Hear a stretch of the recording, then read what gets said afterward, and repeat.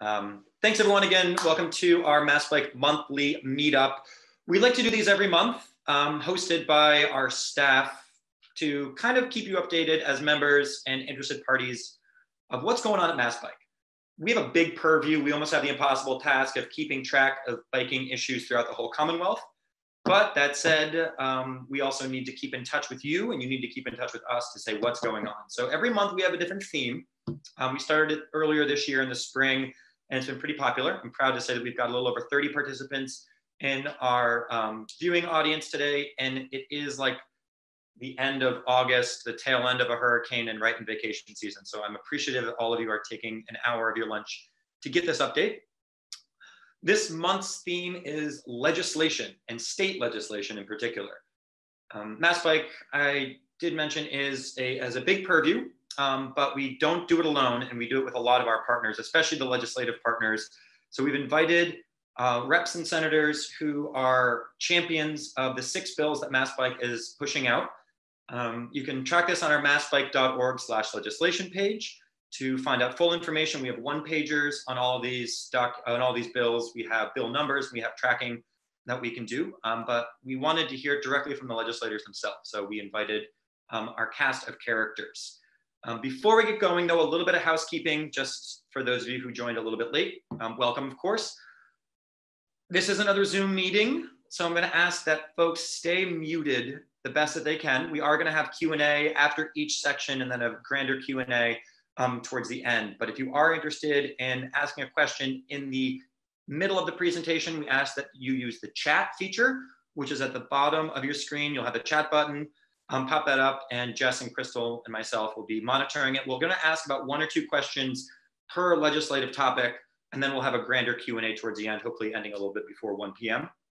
Um, this is being recorded, so thank you, Jess. So for uh, viewing and sharing afterwards, we will send this out with an email update. We're also gonna have a survey at the end too of how did you like today's talk?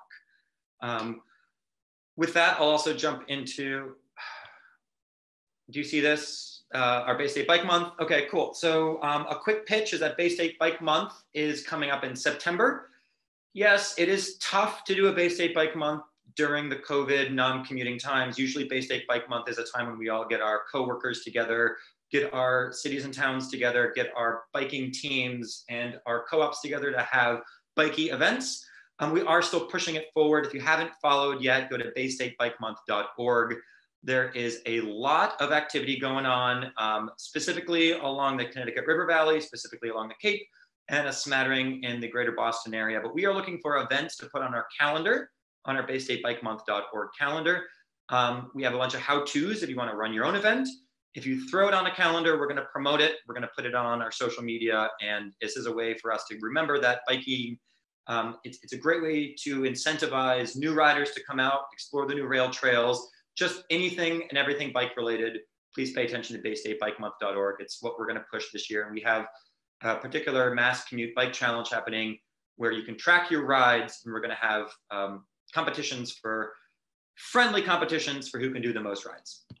Um, to jump right into it, I mentioned we kind of have the impossible task at Mass Bike of tracking bikey stuff statewide, but I do want to lay our core values out there to say this is what we look at um, when we're trying to pursue what is the importance of um, how we focus our meager resources to make sure that we're impacting your riding.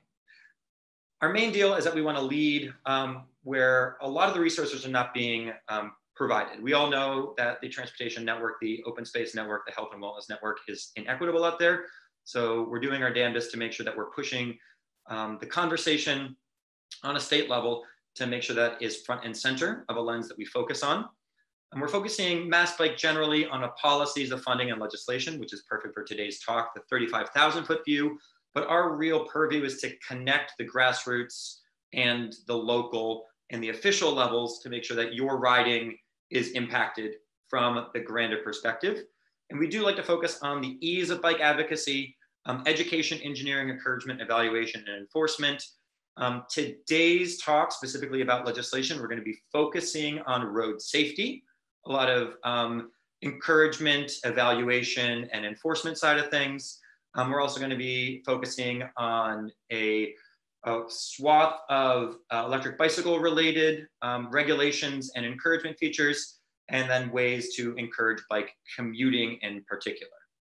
Um, and then I should also mention, I forgot to say it, if you're down in the chat and you have yet to do so, please put down uh, where you are zooming in from locally and uh, any biking that you want to talk about of interest that you are able to um, jump into. Um, so with that, I'm going to see um, with our list of legislators, I'm going to stop sharing in a second, but this is what we're going to run down. Um, and I'm going to ask Jess to, to back me up here with the one pagers that we've created to throw into the chat for each of these. Um, and this is going to be a very fast paced um, update.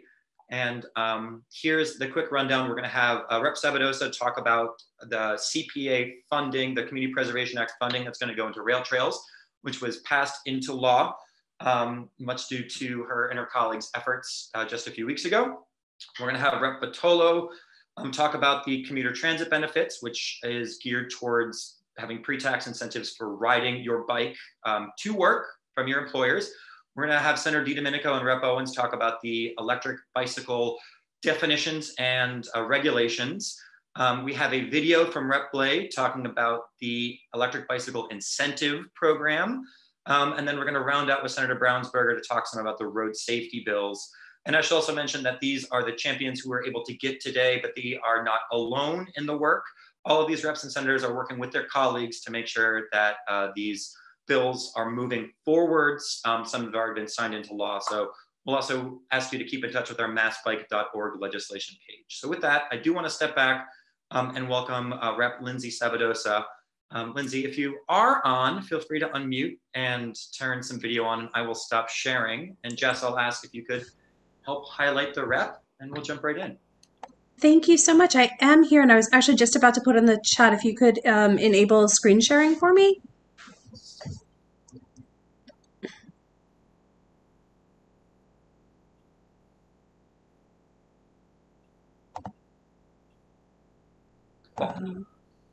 Should be up and ready. There we go. I think I've got it.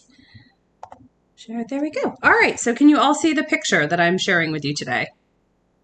Yes. Thumbs up or anything? Awesome. Okay, great. Always a uh, always a moment where I wonder if this is actually going to work.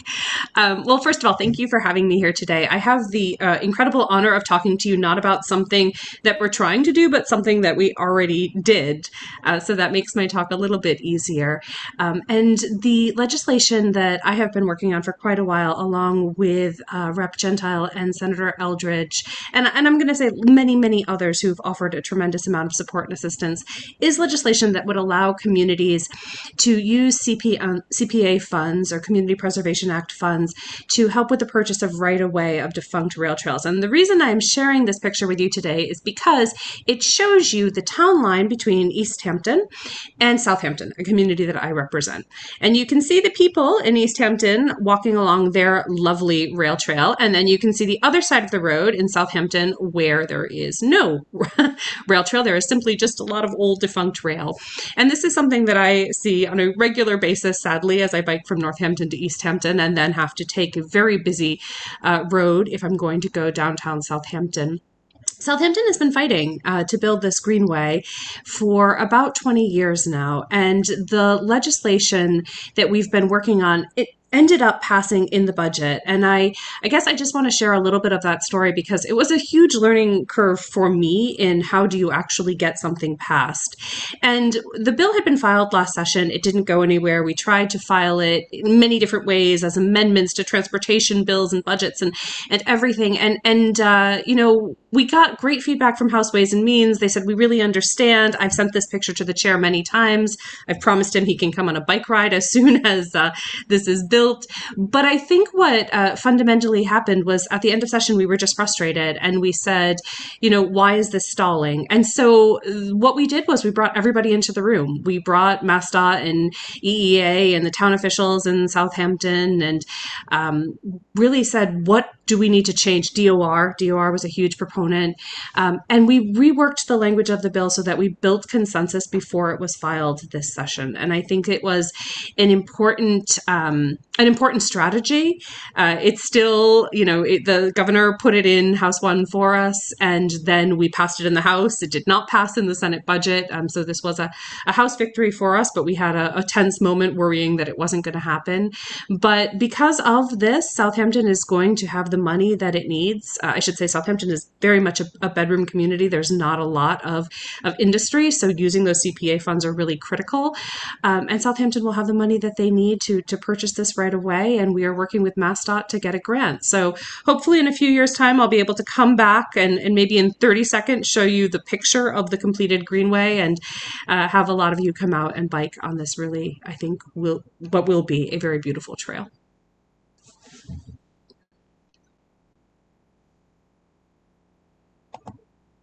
Great.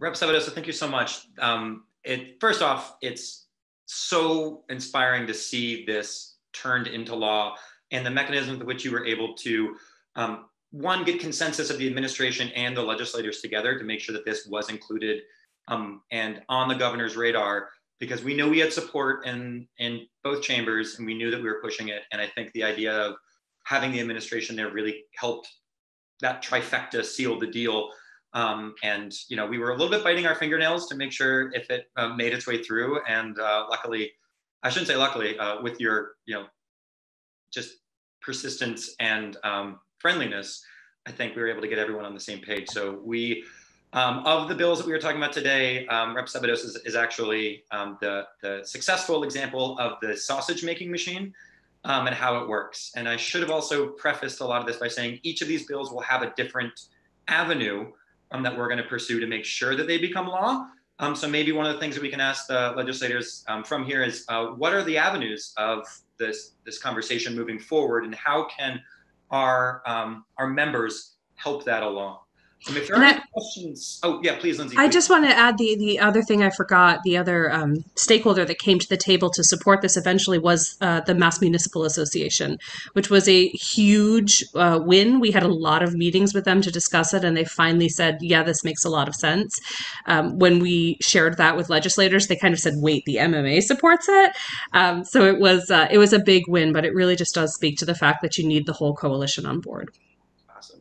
Yeah. Well definitely a round of applause. Um, if there are any questions for Rep Sabadosa, please throw them in the chat. Um, we're gonna, you know, stall for a second um, before we jump on to the next bill. But if there's anything particularly for the rep, um, please throw it down. Or for those of you in the Southampton, Westfield, Easthampton area who are very excited about this connection, because I also want to mention that this key piece in Southampton is going to be part of the 100 plus miles from Northampton to New Haven.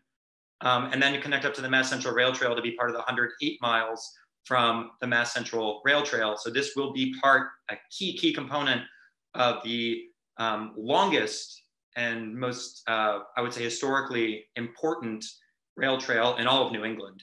Um, and without these key pieces, we all know that a rail trail and a network is only as good as its weakest link or as its gap. And so to be able to focus on the gap here and find every mechanism possible from our line of work at MassBike, we are so grateful to have this tool in our toolkit. So with that, are there any questions for the rep? Um, props, okay, great. Um, Lindsay, thank you so much for all the continued work. And yes, um, we look forward to the ribbon cutting. That's gonna be my favorite. Okay, great. Um, I'll jump back into this. And so sorry to jump so much back and forth, everyone, but we are gonna um, switch a little bit to um, the commuter side of biking. Um, and Rep Tommy Vitolo, if you wouldn't mind unmuting yourself, and if you'd like to share your screen, feel free. But once you're on, jump right on in. I got nothing to share but my ugly mug. Uh, hello, everyone. Uh, I want to begin by acknowledging um, in a strange way. Um, my my uh, college partner, Galen Mook. Uh, yeah, Galen and I went to BU together. Um, strange tale indeed. Uh, and also uh, recognize my colleagues, uh, Senator DiDomenico, Rep. uh, Owens and Rep Sabadosa, and there may be another one who snuck on that I wasn't able to navigate through Zoom. But hello to you, and also I've got a couple of constituents and friends, so hello to you. I want to talk quickly about an act relative to commuter transit benefits and begin by acknowledging that an awful lot of bicycle commuters also um, use and appreciate mass transit. And frankly, a lot of riders of mass transit appreciate that um, bice, folks who ride bicycles are their comrades. Uh, and, and this bill relates to both. And so the current commuter transit benefit tax deduction allows individuals to deduct, to deduct um, from their state taxes payments made through their E-ZPass tolls and weekly or monthly MBTA passes. And so this is one of the cases where legislation seemed to make sense at the time, and I'm sure it did, but in hindsight, it has several stacked inequities. So if you ride the T, but not often enough to justify having a pass, or if you can't put together enough money to buy a pass all at once, you don't get a deduction. And that makes even less sense now in an era of COVID where people are working from home sometimes, uh, as well as an era where, where a lot of people, uh, half of their commute is outside of MBTA hours. And if you live in an RTA region, you get nothing, right? How about if you ride a bus outside of the MBTA? How come you don't get to deduct? Well, this bill would fix that. Uh, but this bill also acknowledges um, that bicycles are used for commuting and we ought to think about uh, that as well. And so it does a couple of things that are important. Uh, the first thing is it says your bike share membership, Blue Bikes or what have you. Yeah, that's deductible. Um, and it also says your other bicycle costs, maintenance and purchasing is deductible. Now there's a limit, right? So you can't buy a $8,000 road bike and deduct the thing, not the whole thing anyway. Um, the limit is, I think it's uh, just about a thousand dollars, maybe twelve hundred. I don't remember exactly. Um, so, so we don't have to worry about someone sort of overdoing it. Uh, and lastly, it reduces the threshold for eligibility from $150 per year to $50 per year, which is especially important um, for uh, things like Blue Bike, which are like 85 bucks a year. And if the threshold's 150, then you still wouldn't be able to take it. And so the big idea here is um, we allow folks who pay tolls in their automobiles to deduct those tolls, whether or not they're actually driving to or from work. Uh, we don't ask that question. If you pay a toll, it's deductible. And it seems to me that um, if you ride transit, that should be deductible, not just for monthly and weekly MBTA passes, but for all transit. Uh, and if you're using a bicycle to get around, that should also be deductible. Uh, so this is the bill. Uh, it is a money bill right? This is a tax cut. This is Tommy Vitolo pushing a tax cut, which you won't hear very often, uh, but you'll hear today. And um, and so we need to actually calculate just how much of a tax cut it is and understand um, its context in the rest of the budget. It turns out it's not very much of a tax cut. Um, we're not talking a ton of dollars here relative to the tens of billions of dollars that is the Massachusetts annual budget. Um, but we do need to get that calculation uh, and I've been working with House Ways and Means to try to sharpen the pencils and figure out an estimate on exactly uh, what this would look like and what added um, challenges the RTAs and MBTA would face in terms of reporting uh, and and how to deal with um, the bicycle issues. Uh, are we just collecting receipts and how do we how do we deal with all of that? But but it's all manageable. Uh, these are all rational and reasonable things and uh, and and in an era of 21st century commuting, our tax policy ought to reflect our priorities, which is not to generate more miles and miles of automobile congestion, but rather to help folks make other choices. So uh, happy to answer any questions. Happy to have support. I also want to shout out uh, my partner in the Senate, Senator Keenan. Um, he's working it on the Senate side, and he's he's great on this issue and so many others. Uh, and so happy to, to answer any questions. I do want to sort of um, cut off a question that Galen had suggested earlier, what you can do to help.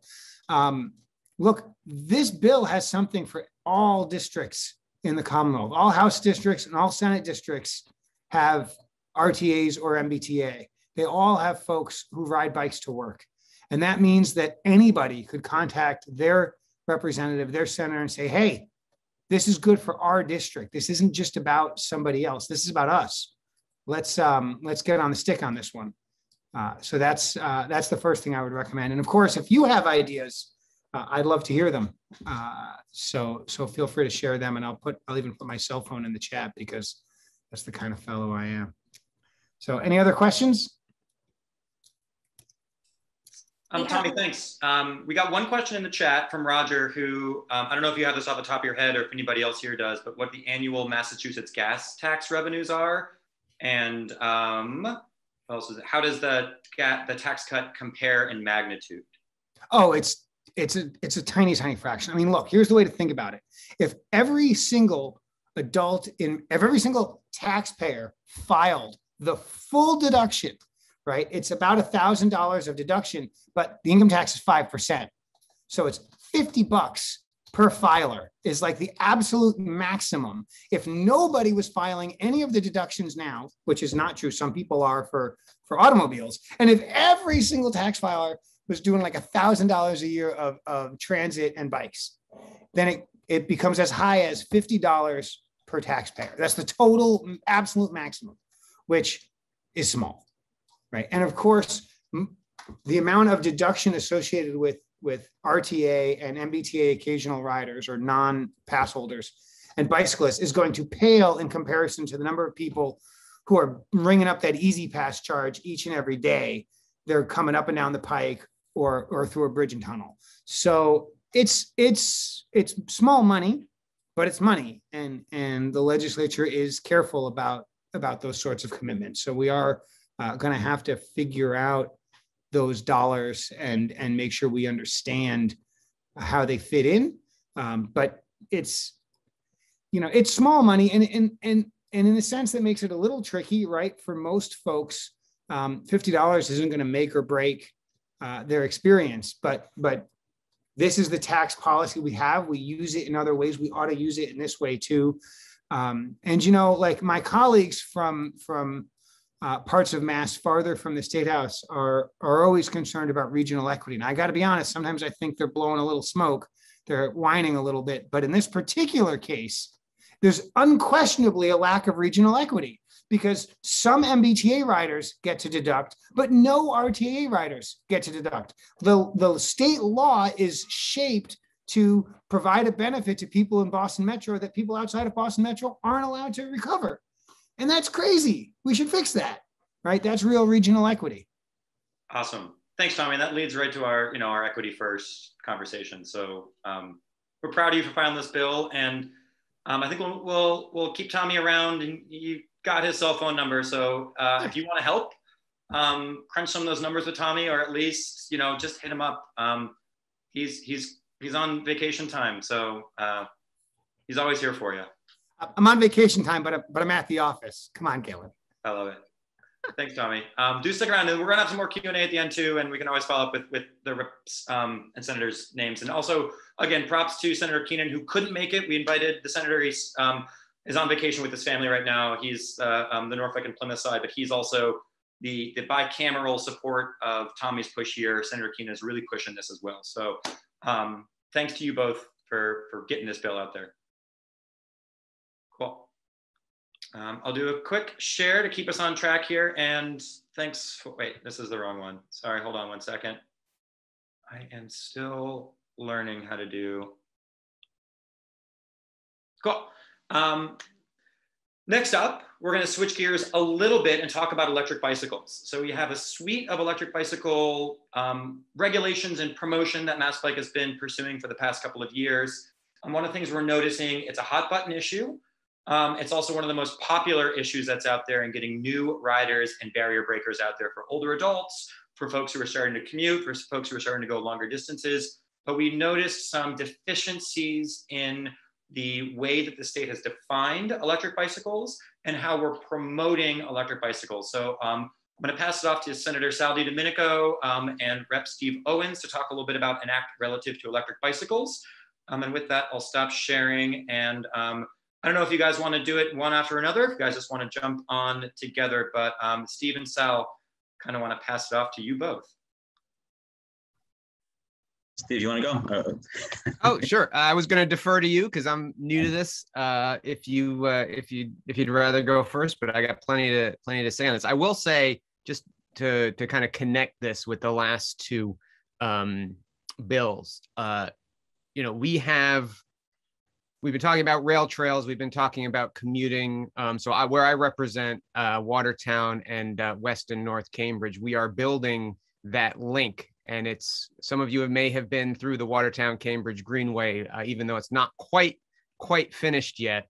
Uh, we're building that link from the Minuteman commuter bikeway to uh, the Charles River and the bike paths there. That is uh, underway. It'll be for the most part off uh, off street and on the on the on the rail trails. So uh, and that I will admit um, is a long way for a, a casual bike rider like myself.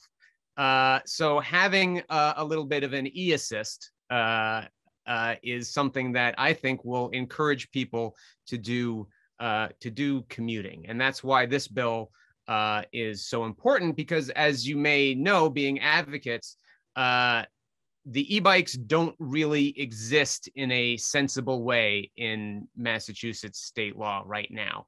Um, the law is designated, you know, with the thought of uh, motorized scooters and mopeds and things like that in mind more than the pedal assists. And what this bill would do is create that class system of of of e-bikes that exists in, in so many other states, the class one, uh, two, and three, and allow uh, not just the the state but also municipalities to kind of regulate those independently of other motorized vehicles. So, you know, there will be no question am I allowed to ride a pedal assist e bike on the Paul Dudley White bike path or the Watertown Cambridge Greenway or the.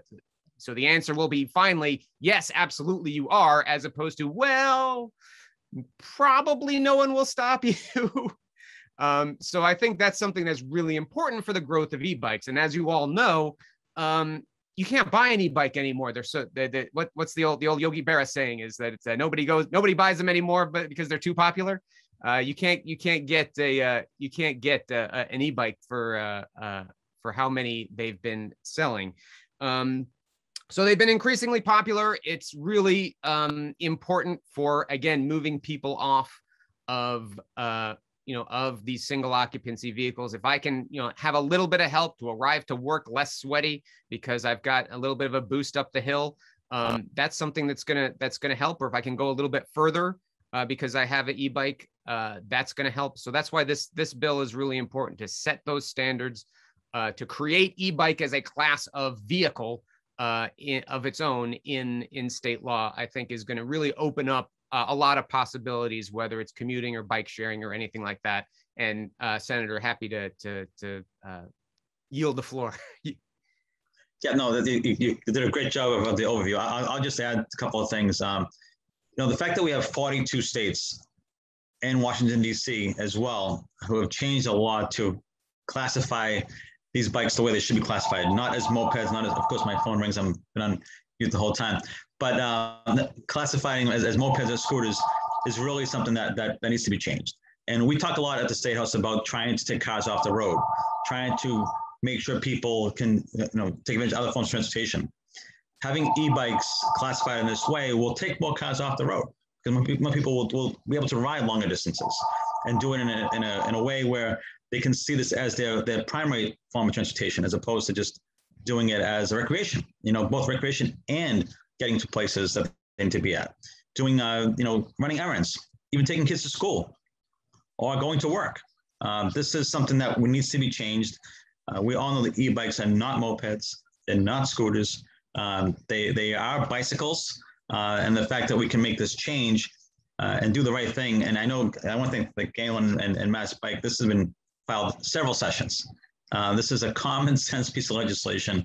Like most things, take a little time to get, get going. Um, and we've had a couple of iterations of this as well going forward. But it really is uh, something that we can also have people aging and also taking advantage, as Galen said, um, you know, recreationally uh, riding bicycles. So this is so many benefits to this. Doesn't make any sense why we can't just pass this as a, pretty much a common sense bill that we can get done as soon as possible. How I would, uh, what I would ask of all of you, um, people who support this bill, uh, would be writing to the chair of transportation in both the House and the Senate. That's where the bill is right now. And asking them to uh, support this bill and get it out of committee and actually schedule a hearing, uh, you know, making sure we can get this done sooner rather than later and make sure people understand that this is an important piece of legislation for a whole host of reasons and primarily um, to make sure people have other options for transportation as well. So it's a pretty easy bill. Um, we don't spend too much time on it. You know, Galen has been laser focused on this for many, many years, trying to make this uh, this change, and and we've been uh, happy to this, be the lead sponsor in the Senate, with also my colleague Rep. Steve Owens and uh, Dylan Fernandes as well in the House. So thank you very much.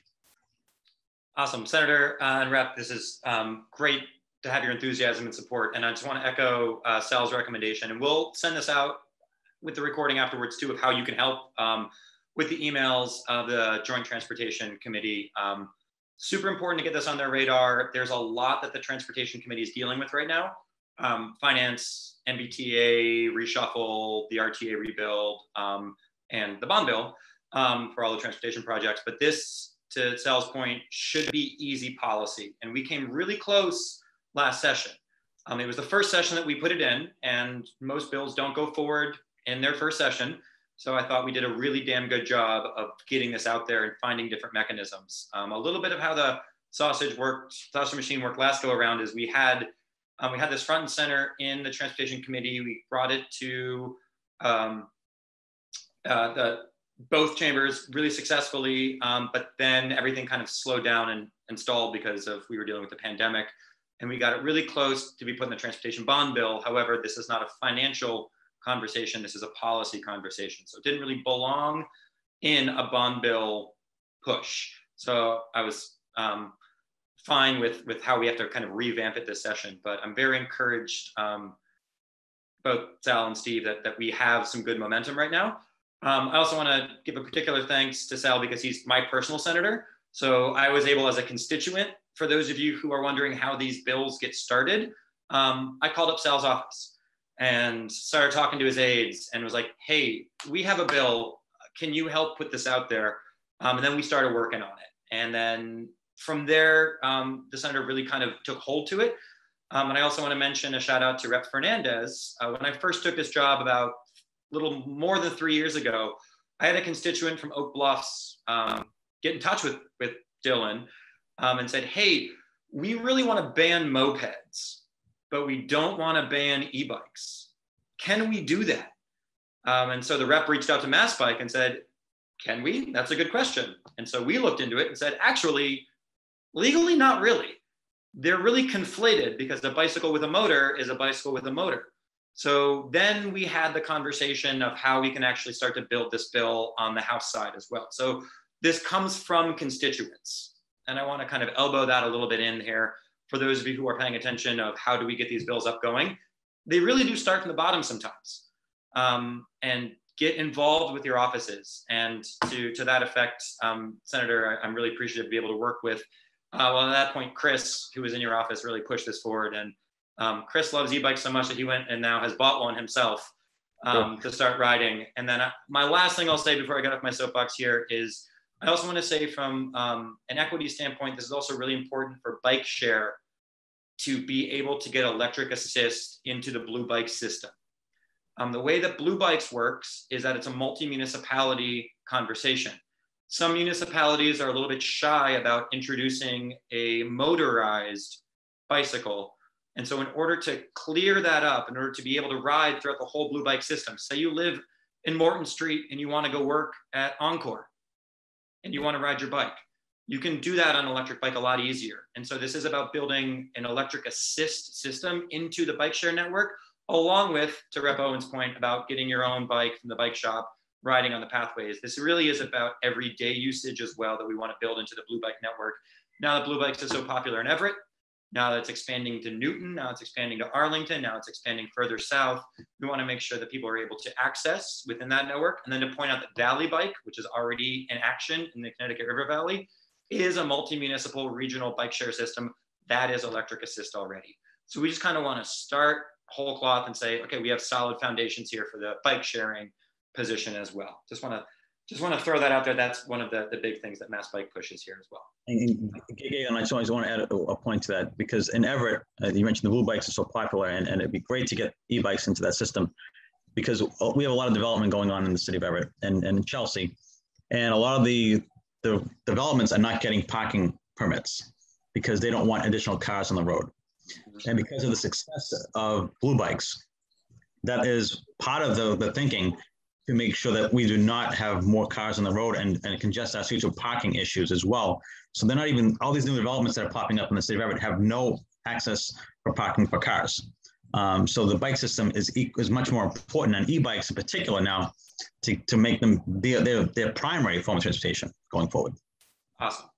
Yeah.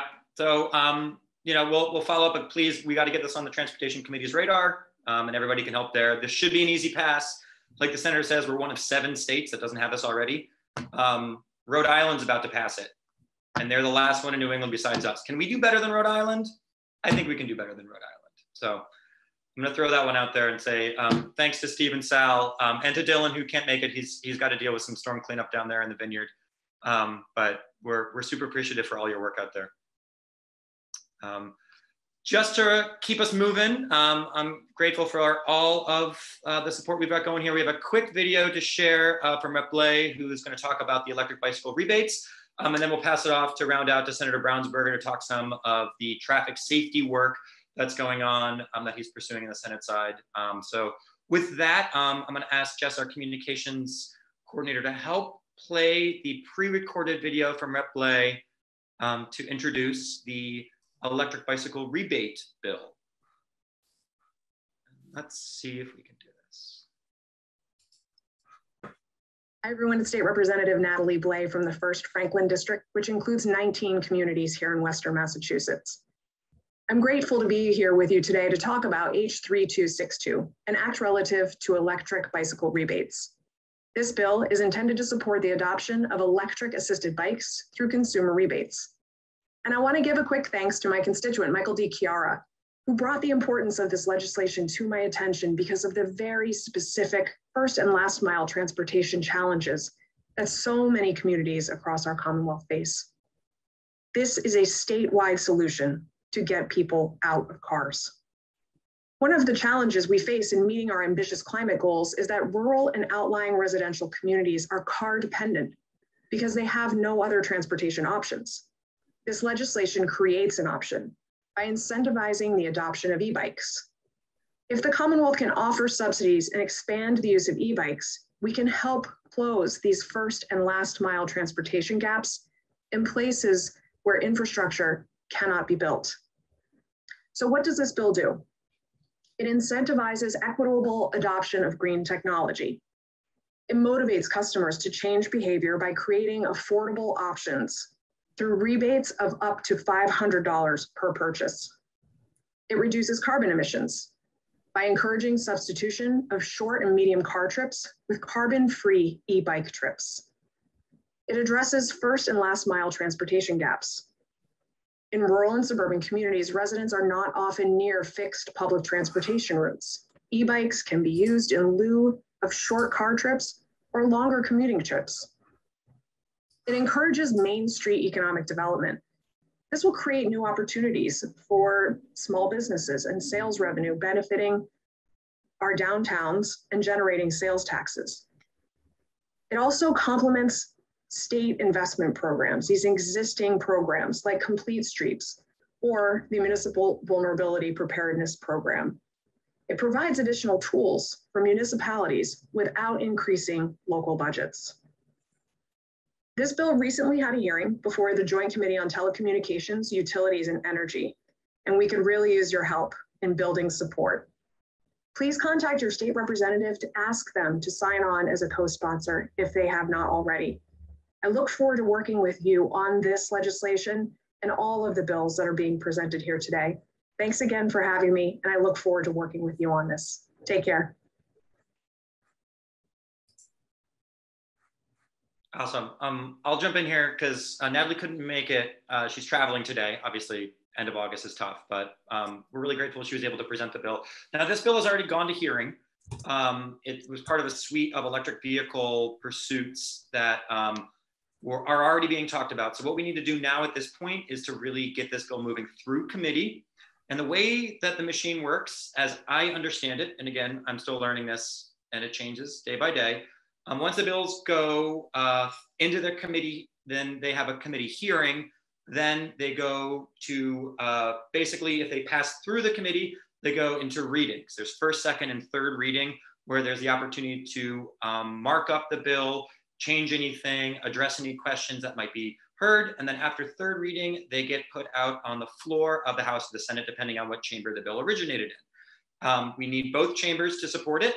We need it to go through both processes parallel. Um, this bill currently is a House bill.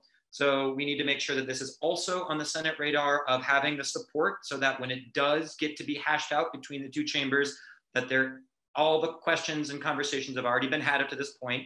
But right now, where it is in the process is it's basically a third of the way through having a committee hearing.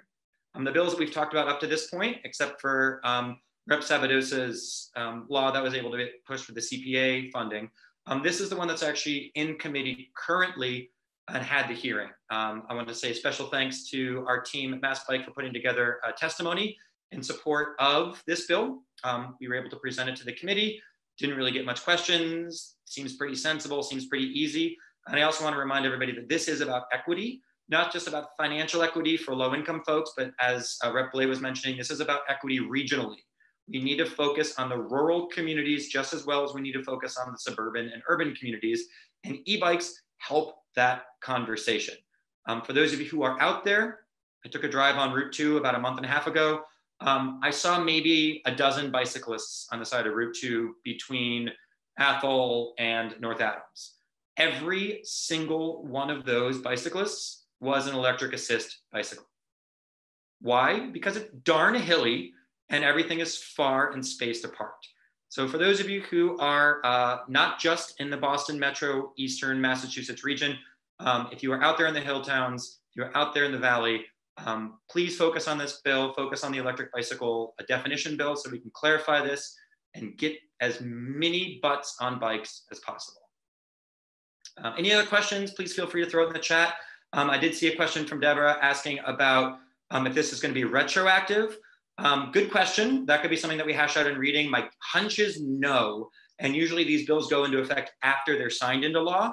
So this would probably, if this goes forward, be put in and then say it's starting to be effective generally the following January so that um, mechanisms can be put into place. But that is something that we can follow up with um, and reach directly out to um, the rep to follow up with. Um, thank you, everybody so far. We have one more um, legislator to throw in here. I'm going to pass it off to Senator Brownsberger. And with that, I'm actually do a quick screen share so we get the bill numbers up. Um, to round us out, Will has been a strong supporter of bike advocacy um, as long as I've known him in the State House. Uh, we've got two particular bills. He's got a whole suite of bills he's pursuing around road safety and betterment out there. We're going to focus today on an act to reduce traffic fatalities, which has already been through the Senate twice so far to talk a little bit about what the status is on that bill and how we can help pursue that um, and a newer version of a automated enforcement bill. Um, and to know that Senator Brownsberger is working on this with his colleagues, but we were able to get the senator's time today, so I'm very grateful. And with that, I'll pass it off to Will um, to jump right on in.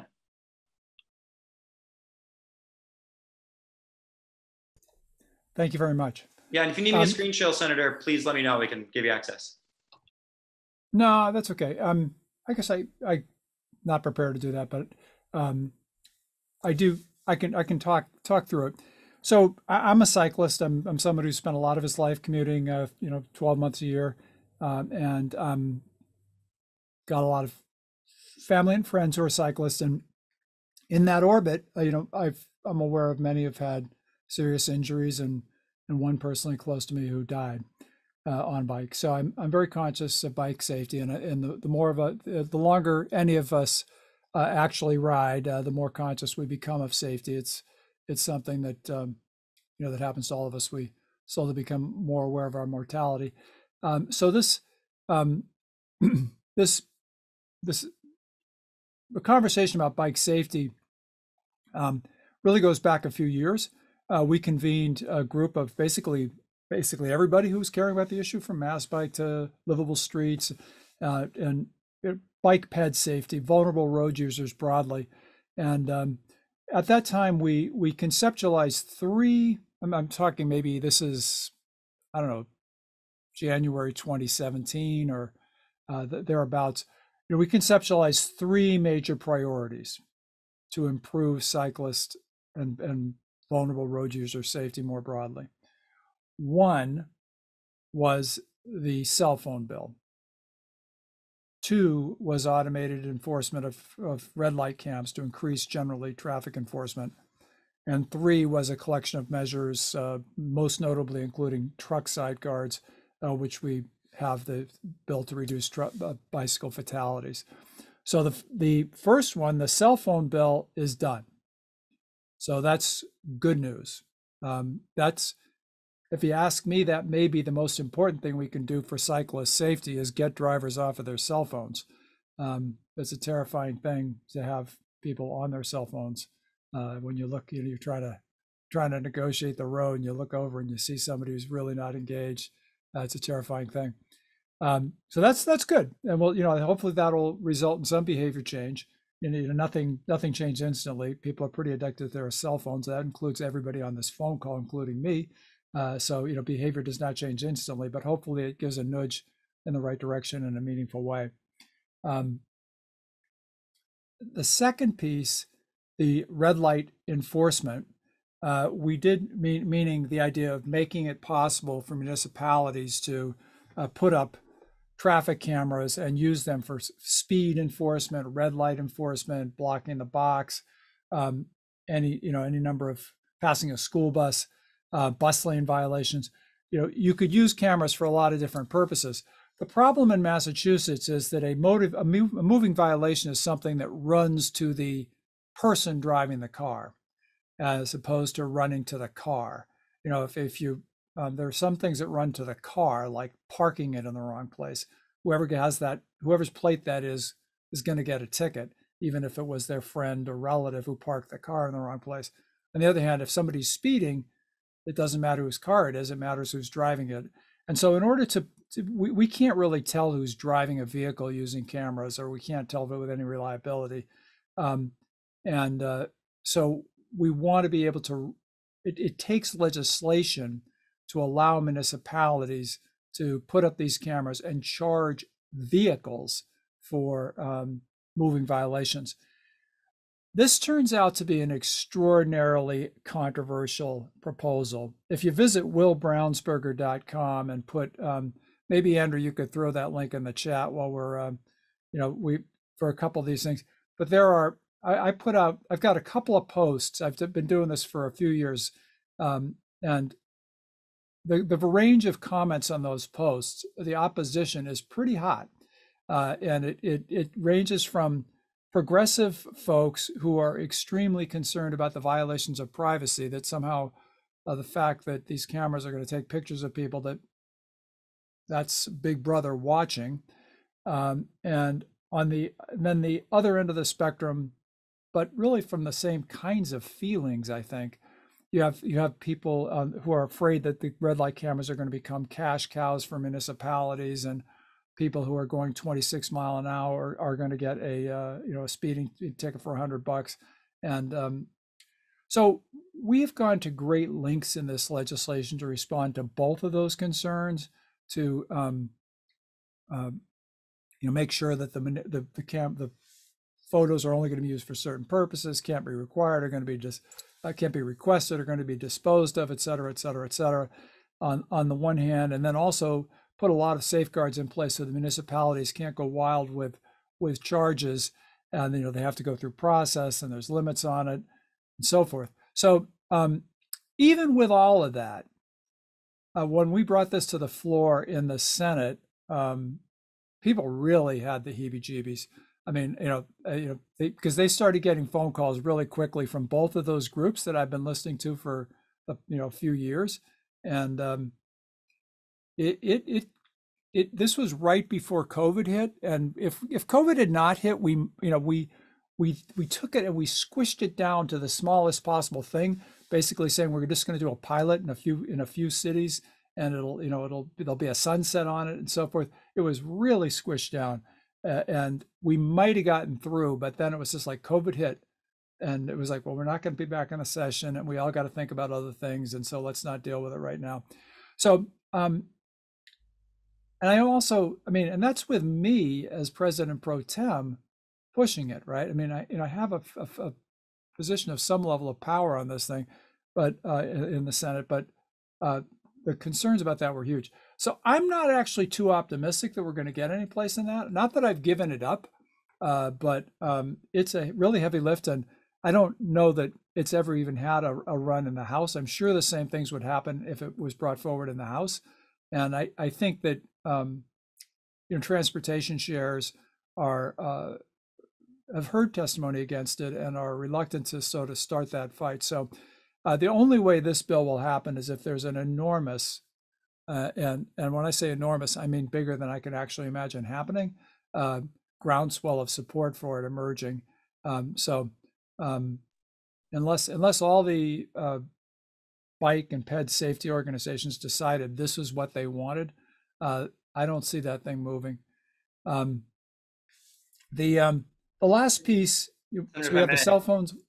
Huh? Um, sorry, just jump in, but I do want to give props to in the House. There's Rep Tucker and Rep Ciccolo who are also pursuing this, and we'll see where it does go. Um, and I want to say that from the equity side of things, um, this is fraught because it does remove police interactions necessarily in these in some of these instances, which might make it more equitable for folks about um, profiling and bias there. But then it might lead to uh, increased enforcement as well, which which could also be inequitable depending on where these things are placed. So I want to give props to your team, specifically Andrew, for thinking this really hard and through. And Mass Bike is fully supportive of how you've drafted this. Um, and I encourage everyone to kind of dig a little bit deeper into those two issues because um, we're still figuring it out. But I, I think your team has done a really good job of, of isolating those issues very specifically and how this bill has been worded. I appreciate that, and I and I appreciate the work of my team. And Andrew Bettinelli is on the call, and he's he's the guy who's done a lot of the work on this. Um, so, yeah. By the way, I mean when people talk about equity, sometimes people say, "Oh, well, they're going to put it only in the poor neighborhoods. They're going to put the uh, auto, automated cameras in the black neighborhoods, and you know, and have discriminatory enforcement a different way."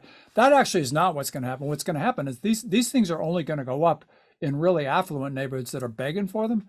I mean, they're going to go up in Back Bay and you know, on uh, some street in Belmont, and, and you know, they're, they're going to go up in the places where people are really asking for them, which are likely to be affluent areas, places that are where you have affluent people living in high traffic. That's where these are going to get asked for, and that's where they're going to go first. So they're not going to discriminate against, um, you know, they're not going to punish uh, poverty neighborhoods. It's going to be the reverse. Uh, but but even when you tell people that, it's it's not a it's a very very heavy lift.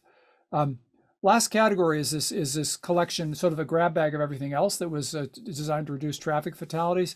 Most important element in, in, that, I think, are number one, the vulnerable road users bill, which is designed to say, look, you can't go, you can't drive people by people very closely. If you're going uh, 30 miles an hour, you got to go at least three feet away, and for every 10 miles uh, over that, you got to go another foot away. Give people a wide berth when you're moving fast, uh, people and cyclists skaters, whatever it might be on the street. So that's a that's an important concept, and you know that's a that's a visibility thing. It's, it's always best practice, and most drivers do it, you know, but the few who don't uh, need to could get a little bit of a message from this.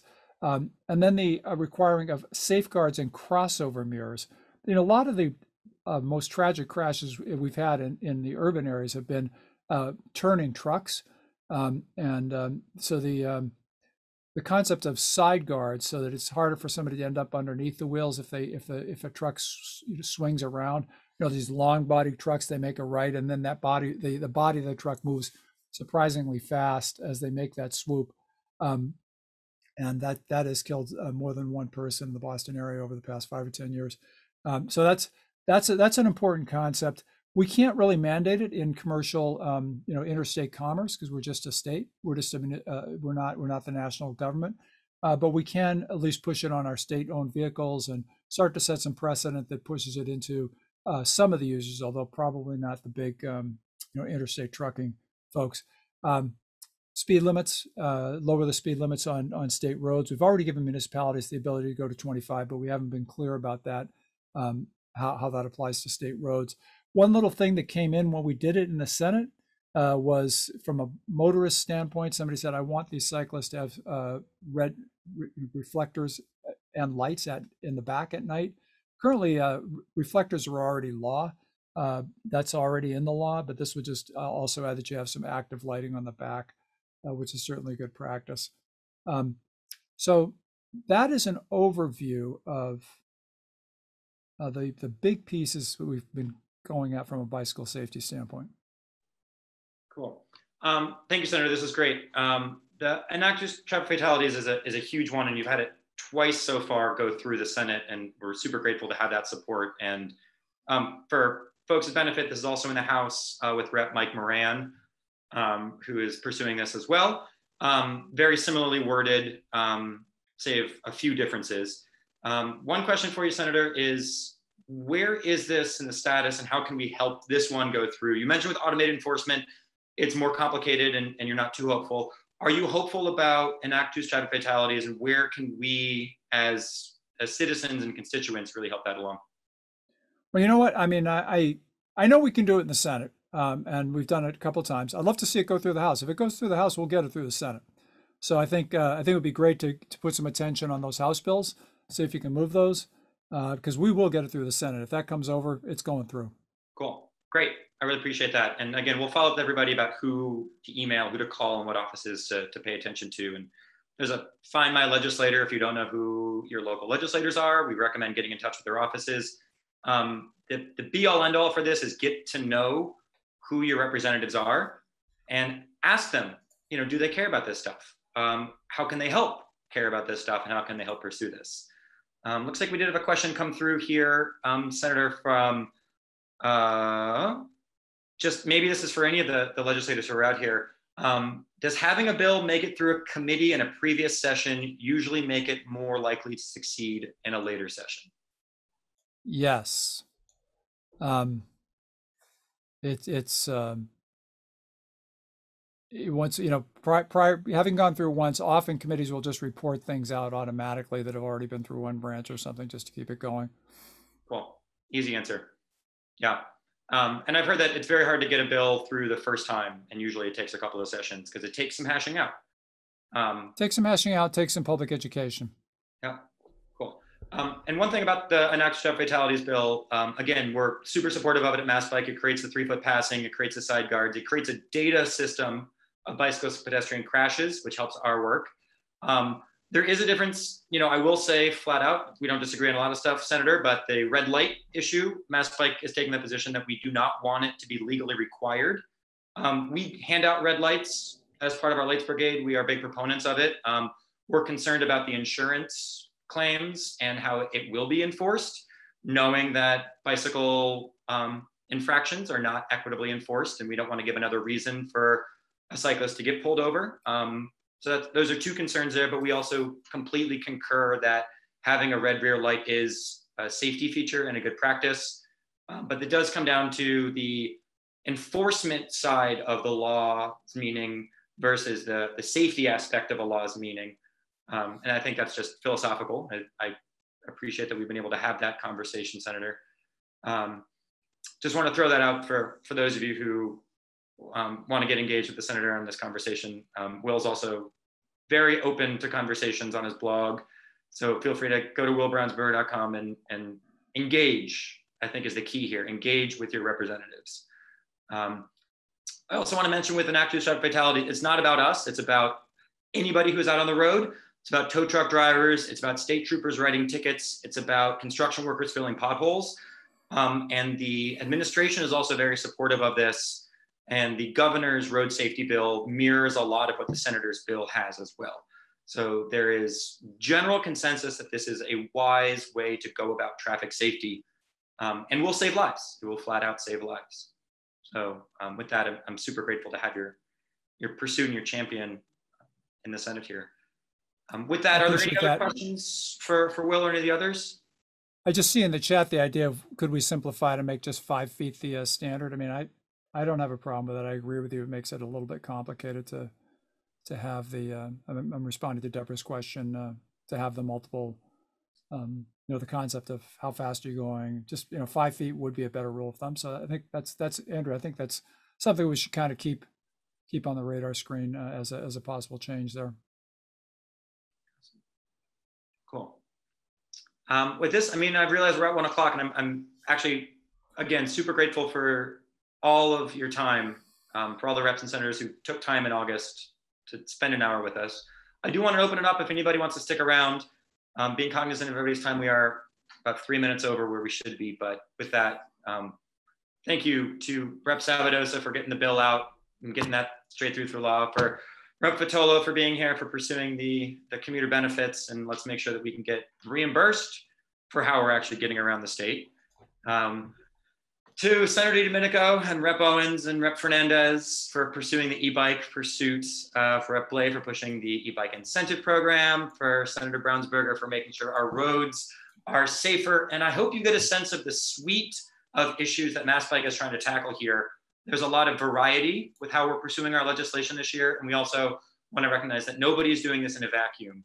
Um, it does take influence, impact from constituents and everyone else. So um, feel engaged, and we are not driving this conversation. Um, we're relying on you as our members and our constituents, and also our champions at the State House to make sure that this this loop gets closed. Um, so we're super grateful for that, and we'll just keep the chat open. Feel free to unmute if you want to chime in at this point. Um, and again, go to massbike.org/legislation for updates. Go to massbike.org um, to become a member, and keep in touch with us on our social media. And then bike month's coming up next week, so get out there and ride um, to all of your abilities. And um, again, I'm just so happy and so grateful to have our champions at the State House. And I look forward to the day when we can actually beat the, the, the halls, those marble halls, and actually meet in person. I miss those days, so just hashing it out out there. So um, good to see you over Zoom at the very least. Cool. I'm gonna stop the recording uh, since we have stopped the formal uh, part of our agenda. Thank you, Jess.